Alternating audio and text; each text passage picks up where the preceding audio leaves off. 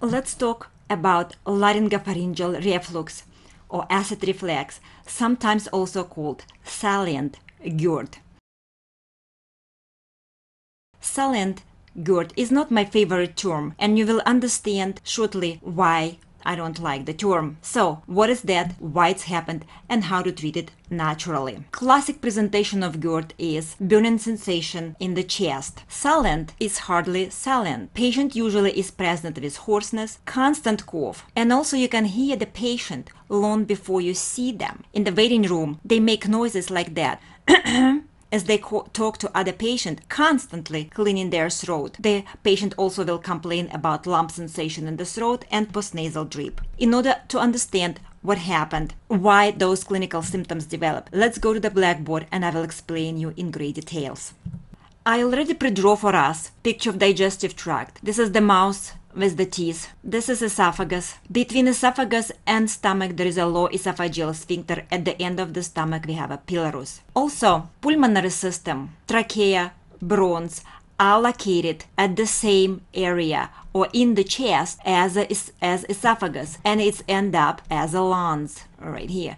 Both esophagus and the lungs are located about diaphragm. So all of this area is chest and all of that here is in the abdomen. Vocal cords are located right here. When patient complains about GERD, meaning that acid goes from the stomach into esophagus, create irritation, inflammation, and the patient present with classical symptoms of GERD. If acid goes further up here in the throat and end up sitting in the area of larynx, it will create irritation here. Irritation means inflammation. Inflammation means we will produce more of mucus as a result postnasal drip. Also, larynx can go into pharyngeal inflammation and it actually can create a bronchitis. If acid will sit right here on the vocal cords, will create irritation and inflammation of vocal cords and patient is present with hoarseness. Now, let's go back to the PowerPoint and let's start to treat it. So you understand clinical symptoms are actually is not it's not silent at all because etiology of classic GERD and silent GERD is absolutely the same. The treatment of that is the same. Primary care of gastroenterologist will give you prescription for proton pump inhibitors, Protonix or omeprazole, or for H2 blockers such as cimetidine, sometimes Tums. As a naturopathic physician, please do not treat your GERD with with aloe vera or apple cider vinegar until you know exactly